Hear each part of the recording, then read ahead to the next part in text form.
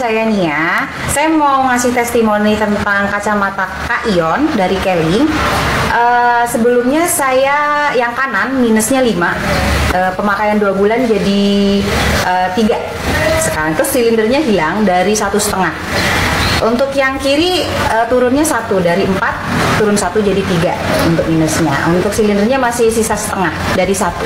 Pemakaian berapa? pemakaian dua bulan dari bulan November sekarang Januari. Terima kasih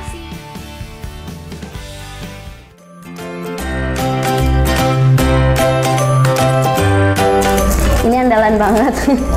Karena kalau nggak pakai ini kayaknya nggak bisa gitu. Karena mata aku tuh lelah gitu kan.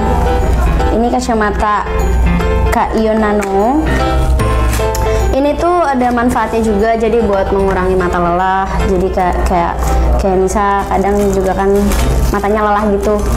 Antara lelah sama sedikit sih. Jadi biasa pakai ini. Tuh, untuk melengkapi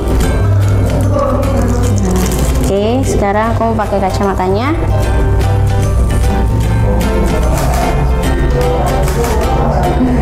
Ya, jadi kan nggak kelihatan lelah gitu matanya. Kemarin aku punya warna merah, warna ungu, warna biru sama hitam.